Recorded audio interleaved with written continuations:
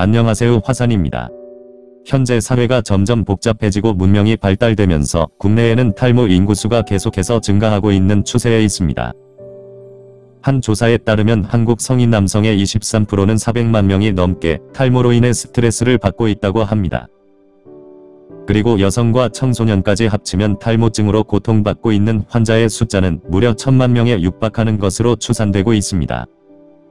국내 탈모 치료제는 국소도포제와 경구 치료제 등이 처방되고 있으나 여러 부작용이 보고되고 있습니다.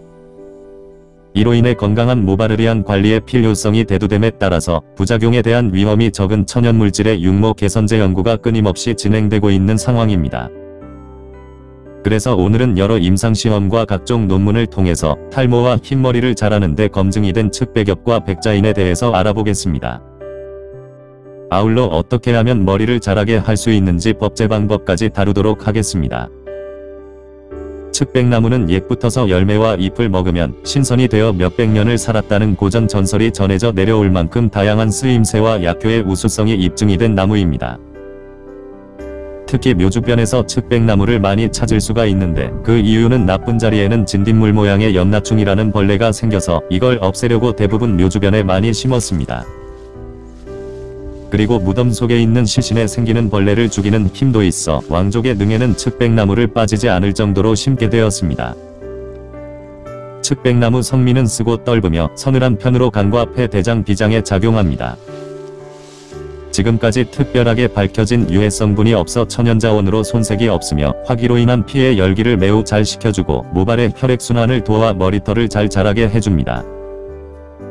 측백엽으로 탈모가 진행된 국소 부위에 분무를 해주거나 주기적으로 복용을 하면 머리가 막히지가 않고 모공을 열어 털이 새로 자랄 수가 있습니다.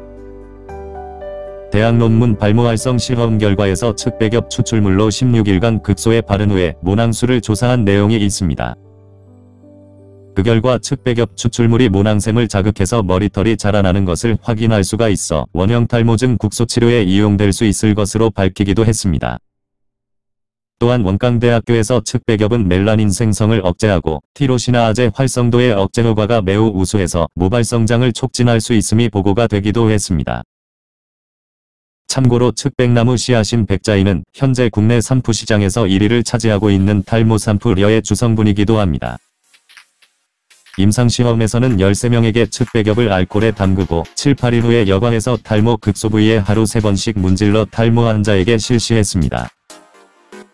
그 결과 치료 후에 모발이 모든 환자에게서 새로 나와 큰 화제를 모으기도 했습니다. 또한 치료 후에도 계속해서 바르고 약의 농도를 높여주었더니 모발이 빽빽하게 자라나고 더 이상 머리가 빠지지가 않았습니다. 그리고 두피 전문가에 의한 평가에서도 탈모증 개선에 있어 측백입 추출물의 효과를 매우 긍정적으로 판단하기도 했습니다. 결과적으로 측백엽 추출물은 모발 성장 촉진과 육모의 긍정적인 효능을 나타내어 앞으로 천연물에 의한 육모와 발모제 연구개발에 유용한 기초자료가 될 것으로 판단되기도 했습니다. 다음으로 광주여자대학교 임상시험에서는 측백엽 추출물의 육모 효능을 평가하기 위해서 탈모증이 있는 대상자 11명을 모집하여 임상시험을 실시하였습니다. 실험에 참가한 대상자들은 측백입 추출물 72g을 240ml의 에탄올에 녹인 후에 각 대상자들에게 6개월에 걸쳐서 아침과 저녁 하루 2회씩 두피에 분무하여 사용하게 하였습니다. 1회 사용량은 1.2g을 사용하게 하였고 두피의 정확한 촬영을 위해서 탈모 부위에 점이 있는 경우 점을 활용하였으며 점이 없는 경우에는 문신을 표식했습니다. 그리고 측백엽 추출물 사용 후에 두피와 모발의 임상 변화 결과에서 대상자들은 임상 2회에서 4회 사이에 쇠딩 현상이 나타났습니다. 6명의 대상자들은 임상 5회부터 두피와 모발이 개선되었으며 임상 6회째 2명, 임상 7회 2명, 임상 8회 1명으로 나타났습니다. 아울러 6개월 후에는 대상자 11명 모두에게 모관이 굵어지면서 머리털이 나기 시작을 했습니다. 또한 임상 전과 임상 후의 모발의 양에서는 최대 65개로 늘었으며 최소 22개에서 28개로 모두 개선된 효과를 나타내었습니다. 임상 후 자가평가에서는 대상자 11명 모두 시간이 지남에 따라서 전원 호전 및 개선이 되어 만족도가 매우 높은 것으로 나타내기도 했습니다. 그리고 폐결핵 환자 64명에게 1개월 이상 투여한 이후 관찰했더니 호전 및 치료받은 사람 수가 38명이 나왔습니다. 특별히 체질에 변화가 없는 사람이 12명이었고 악화된 경우가 5차례로 대체적으로 상당한 효과가 있음이 확인이 되기도 했습니다. 해결액에는 물 2리터에 2-30g 정도 넣고 끓이시면 되고 몸에 냉증이 심하신 분들은 대추나 감초를 넣고 함께 달이시면 됩니다. 측백나무로 발모제를 만드실 때는 씨앗이나 잎을 모두 사용할 수가 있습니다. 먼저 채취해온 측백엽은 불순물과 미량의 독성을 제거하기 위해서 3시간 정도 그대로 물에 담그면 되고 꺼내면서 헹구고 물기가 빠지게 그늘에 반나절 정도 말려줍니다.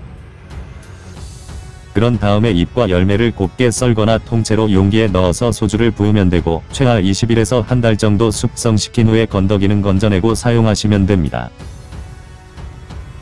참고로 용량은 한 병당 200에서 300g을 사용하면 되겠습니다. 그리고 숙성이 다 된 측배 깊은 건져내고 분무기에 담아서 탈모 극소 부위에 뿌리거나 1일 3회씩 면봉으로 찍어 발라주면 됩니다.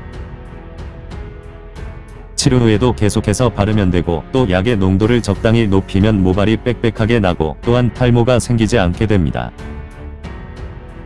피부가 약하신 분은 측백엽의 양을 조금 적게 해서 담그시면 되고 분무기나 스프레이 통에 담아서 하루 2-3회씩 탈모 부위에 뿌려주면 됩니다. 이때 어성초와 자소엽, 상백피, 녹차 등을 한 개 정도 더 첨가해서 함께 숙성시켜 사용하면 더욱더 좋은 효과를 낼 수가 있습니다. 여기서 중요한 것은 탈모에는 가급적이면 생잎을 사용해야 머리카락이 빠지지가 않고 윤기가 있으면서 깨끗이 치료하는 효과를 누릴 수가 있습니다. 지금까지 이런 식으로 측백엽이나 백자인을 사용해서 효험을 본 사람들이 아주 많았으니 탈모에 고민이 많은 사람들은 조금이나마 도움이 되었으면 합니다.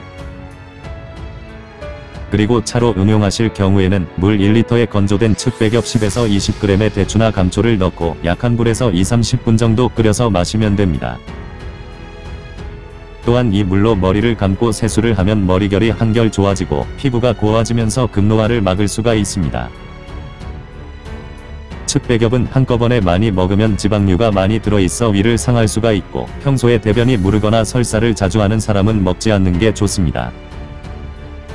또한 체질에 따라서는 피부가 약하거나 알레르기를 잘 타시는 분들은 잘 안 맞을 수가 있으니 전문가 상담을 받은 후에 주의해서 사용하셔야 합니다. 그리고 화기가 강한 사람들이 염소와 개, 뱀 등의 열증이 강한 육식을 많이 먹게 되면 열이 자꾸 머리로 치밀어 올라 머리털이 상하고 빠질 수가 있습니다. 특히 뱀띠나 개띠, 말띠, 닭, 용, 범띠, 여름 태생의 사시, 오시, 미시생들은 이 점 주의하시길 바랍니다. 시청해 주셔서 감사합니다. 지금까지 화산이었습니다.